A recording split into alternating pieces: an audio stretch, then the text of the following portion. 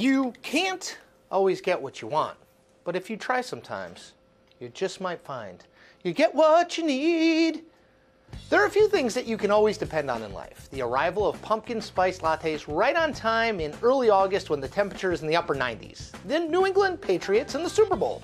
The Cleveland Browns not in the Super Bowl. And this. Nervous Democrats worrying that their choices for president just aren't good enough and pining for someone to enter the fray at the last minute and save everything and everyone. And it's all happening again. In late October, the New York Times wrote a piece headlined, quote, Anxious Democratic Establishment asks, is there anybody else? Now, the very next day, the Washington Post had their own version of this Democrats panicking story headlined, Anxiety Rises Among Democrats Worried About Party's Prospects in 2020. The point of both of those stories was the exact same thing, and it went basically like this. Former Vice President Joe Biden is a very weak frontrunner, if he's a frontrunner at all at this point. His fundraising, he ended September with less than $9 million in the bank, is so weak that he might not be able to even run an aggressive national campaign for the nomination come spring 2020. Massachusetts Senator Elizabeth Warren has stepped into the void created by Biden's weakness which is also bad, these Democrats worry, because she is likely too liberal, especially in her support to wipe out all private health insurance, to win over moderate and swing voters these Democrats think the party needs. Vermont Senator Bernie Sanders, same problem. South Bend Mayor Pete Buttigieg, you ask? I'm sure, he's intriguing, but he's also just 37 years old and has never been in charge of anything larger than his own hometown. And the rest of the field, mm, not really anyone there who has any sort of realistic chance to be the nominee. So, that was my panic face. Panic, panic, panic. Also panic. Who, you ask, do these skittish Democrats want to fill the void left by their minuscule 19 candidate field? Well, there's all sorts of names out there. Here's a not totally complete list of the people who have been mentioned Hillary Clinton, Michael Bloomberg, Michelle Obama, Eric Holder, John Kerry, Sherrod Brown, Deval Patrick, Bob Iger, Admiral William McRaven, Chris Cillizza. Yep, that's the list. It's it's pretty solid. Pretty, pretty solid, especially that last name. Good guy. Now, the truth is that any of the people mentioned as potential late entrants into the race, with me notably accepted, would be intriguing candidates. They would. So, Clinton won the popular vote in 2016 over Trump by nearly 3 million ballots. John Kerry, he served in the Senate, was the party's 2004 presidential nominee, and has been Secretary of State.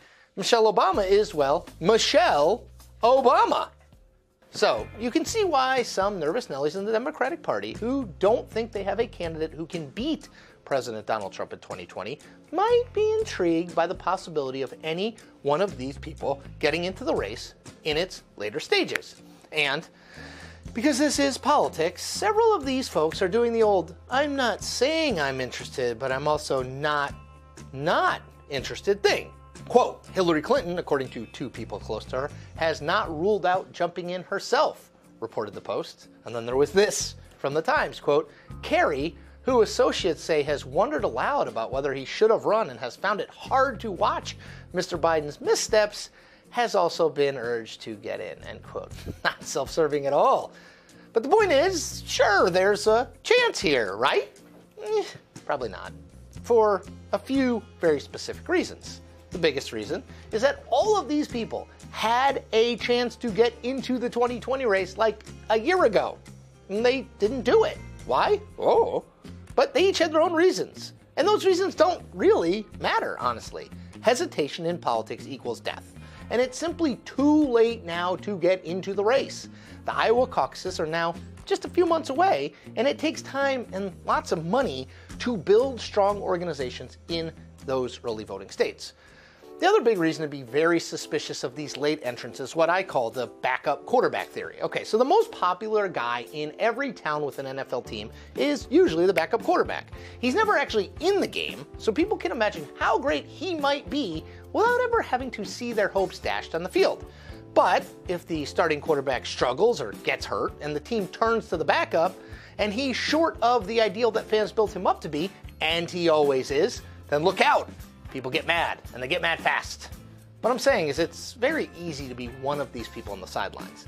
Democrats not happy with their options boost you up in their own minds as everything they want in a nominee. But if any of these people actually, you know, ran for president, their warts and flaws would be exposed. And the same people who were so very excited about them would suddenly be a lot less enthused. And the reality for Democrats is that their 2020 team is already on the field. Deal with it. And that is the point. We make new point episodes every Tuesday and Thursday. Check them all out.